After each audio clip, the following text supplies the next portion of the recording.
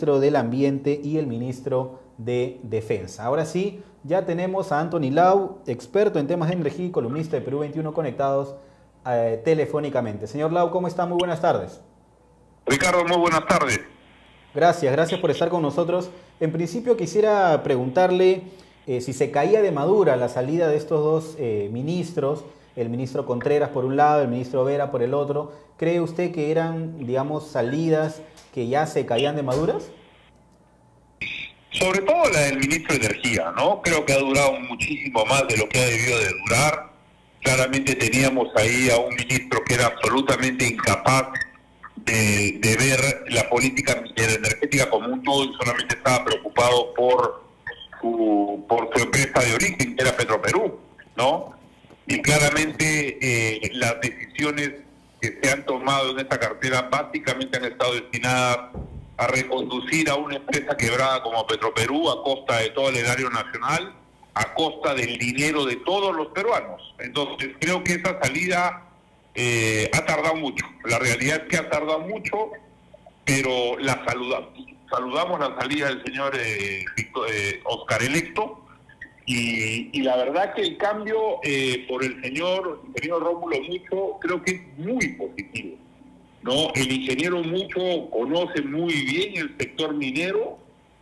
Creo que hoy día como país tenemos una gran oportunidad de que alguien que tenga ese conocimiento técnico de minería y que sea una persona proclive al desarrollo de, nuevas minas, nos debería de dar una, un hálito de aliento, por decirlo menos, una esperanza bastante buena, aprovechar evidentemente el ciclo de precios altos de los que todavía gozamos, y aprovechar sobre todo los más de 57 mil millones de dólares que tenemos en proyectos mineros, que si es que lográsemos ejecutar el 20% de ellos en los siguientes años, nos volvería a poner no solamente en una posición muy expectante respecto del resto de países a nivel minería, sino que por supuesto que marcaría una pauta de destino y de desarrollo sumamente importante para el país nos guste o no nos guste, el Perú es un país minero y su principal recurso natural es la minería. Entonces,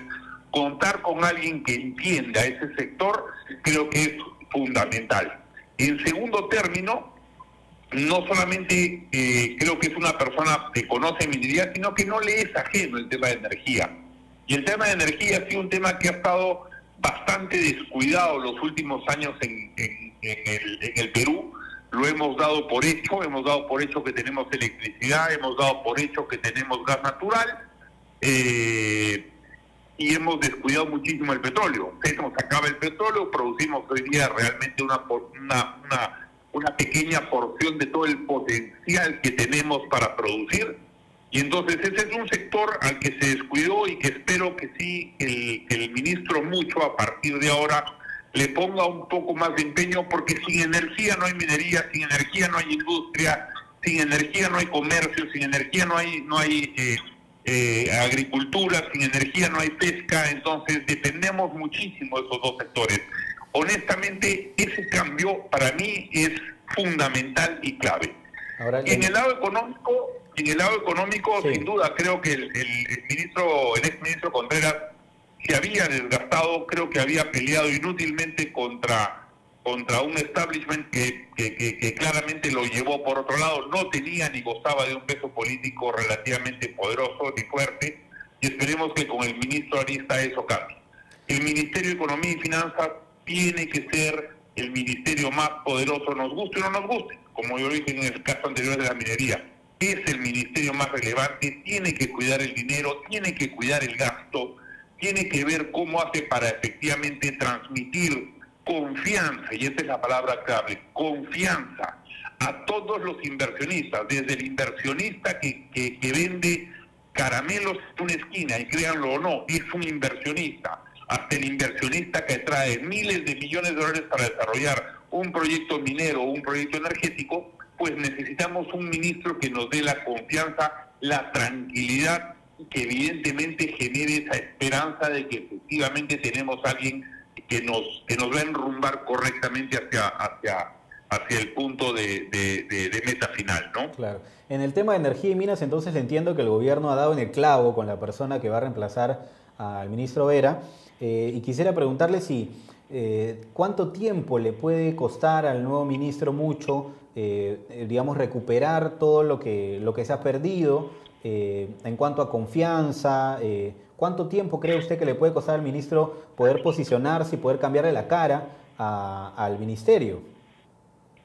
Creo que ya su sola designación ya logró ese primer objetivo. ¿No? Eh, aquellos que estamos en el mundo mineroenergético desde hace algún tiempo, conocemos al ingeniero mucho, sabemos de su capacidad, sabemos que es un hombre trabajador, sabemos que es un hombre muy empeñoso y que transmite efectivamente ese, ese sentimiento de confianza. Entonces creo que ese primer objetivo con su solo nombramiento debería estar relativamente cubierto. Ahora, el Ministerio de Energía y Minas requiere cambios más profundos. Necesitamos gente que sea mucho más proactiva. Necesitamos gente que no tenga miedo a firmar, que no tenga miedo a promover el desarrollo de nuevos proyectos. Tenemos proyectos en el sector gas natural que están encarpetados hace muchísimo tiempo. La petroquímica, estamos hablando de proyectos que más o menos suman 1.500 millones de dólares eh, un gasoducto al sur, que efectivamente ya se pueda, se puede hacer. Sabemos que hay un proyecto privado para llevar el gasoducto o el gas hacia la costa, por la costa, perdón, hacia el sur del Perú, que son otros 1.500 millones de dólares más en adición de inversión. Es decir, solamente con dos proyectos, el petroquímico y gas natural, tendríamos 3.000 millones de dólares en inversión que se puede ejecutar ya mismo, desde este momento. ¿no? Entonces, si es que damos esa señal sería clarísima y sería contundente y rápida. En paralelo, destrabar aquellos tres o cuatro proyectos mineros que están entrampados inútilmente y que no benefician a nadie, el que estén entrampados, salvo alguna ONG que hace plata con eso, pero el resto del país no. Y con eso estaríamos hablando de que inmediatamente podríamos poner en cartera más o menos unos 6 mil a 7 mil millones de dólares en inversión. Y si en paralelo a ello comenzamos a destrabar el sector petrolero, que hoy día claramente está maniatado, que claramente está manejado políticamente o ha sido manejado políticamente, teniendo a Petroperú como el primer interesado, pues creo que podríamos tener una dinámica sumamente interesante. Es decir, podríamos comenzar a caminar relativamente rápido en muy poco tiempo. ¿Usted cree que otra de las acciones inmediatas que deberían producirse es también la, salida del presidente de Petroperú? Creo que es inevitable que haya no solamente una salida del presidente, sino de todo el directorio de Petroperú y de toda la gerencia de Petroperú. Claramente han fracasado, claramente han llevado a una empresa como Petroperú a una situación de quiebra. Eh, no tienen la menor idea qué cosa hacer con esa empresa y lo que amerita evidentemente es que se cambie todo ese directorio, que se cambie toda esa gerencia y que se traigan gerentes y que se traigan directores independientes que sepan manejar empresas que están en situación eh, en situación de quiebra o en situación sumamente compleja financieramente hablando como lo está Petroperú. Pero no solamente es Petroperú, creo que el siguiente eslabón o el eslabón que, que, también continúa y que debe ser reevaluado en su conjunto es la agencia petrolera estatal, Perú Petro. Perú, Perú Petro ha estado sometida y se ha sojuzgado a los intereses de Petroperú y no a los intereses del país. Al país lo que le interesa es que tengamos mayor producción de petróleo, que con eso se saquen mayores recursos públicos, que se incremente el canon para las regiones para el buen uso de ese dinero en proyectos que tengan impacto social. Entonces, creo que lo urgente que el ingeniero Mamani tiene que hacer es, uno, perdón, mucho Mamani es, uno, eh, reactivar la minería, dos, estos dos proyectos que le acabo de comentar, Petroquímica y Gas, al Sur, rápidamente. Tres, Petroperú, una reingeniería eh, salvaje, pues no hay otro término que hacer porque esta empresa honestamente está gangrenada y esa es la realidad. Y un cuarto punto es Perú Petro. Perú Petro tiene que ser absolutamente reestructurado. De acuerdo. Y en el caso del de, eh, Ministerio de Economía, usted mencionaba también al inicio de, algunos aspectos relacionados al Ministerio de Economía y Finanzas y a la nueva dirección que va a tener con el ministro José Arista. Eh, ¿Qué se puede esperar de esta nueva administración, de esta nueva gestión? ¿Cuáles deberían ser los puntos principales que debería abordar, los retos que al corto plazo?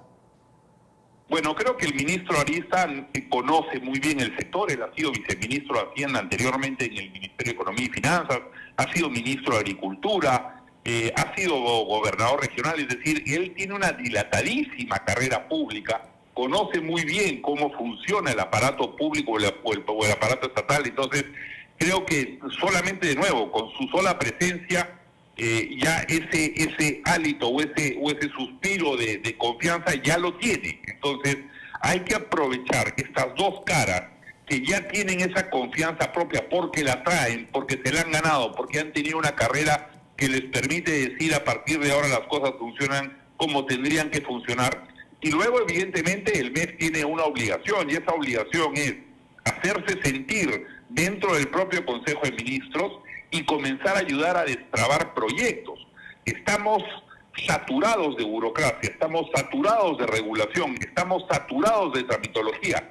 Si es que me preguntas cuál debería ser el siguiente rol, aparte obviamente del manejo prudente de la economía por parte del ministro de Economía, lógicamente va a ser ayudar a destrabar los cientos de proyectos que están empantanados básicamente porque tenemos problemas con tramitología, porque tenemos problemas con burocracia o porque tenemos problemas con ministerios que son subsidiarios que no terminan ejecutando o no permiten ejecutar eh, proyectos de envergadura. Esperemos que el nuevo ministro del Ambiente acompañe también en esta etapa o en este proceso y que sea un ministro que cuidando claramente todo nuestro, nuestro valiosa, nuestra valiosa riqueza ambiental permita que los procesos se agilicen, se aceleren en pos del desarrollo de nueva inversión en el país.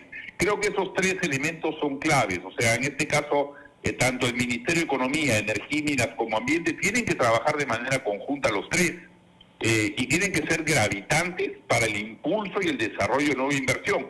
Esta inversión que está ahí, esta inversión que si nosotros la, la ponemos en, en, valor rápidamente, le dimos la vuelta a los problemas que venimos arrastrando hace más de ocho años en cuestión de dos años. Es decir, podemos darnos eh, hoy eh, eh, un, un palmará, un espaldarazo, un, una palmada en la espalda pensando que podemos revertir esta situación compleja económicamente hablando en la que estamos sumidos hoy. ¿No? Eh, claro, el resto de problemas que tenemos son, son de otra índole, pero me ocupo básicamente de esos tres en este caso, ¿no? De acuerdo, de acuerdo, señor Lau, le agradezco mucho por haber estado con nosotros. Muchas gracias a ti, más bien.